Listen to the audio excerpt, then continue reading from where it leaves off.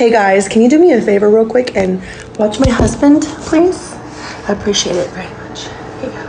I'll be right back. Just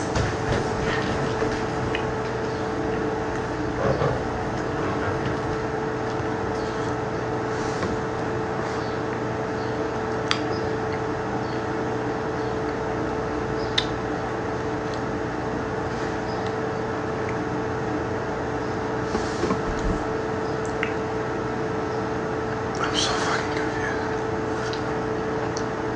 Why do y'all gotta watch me for?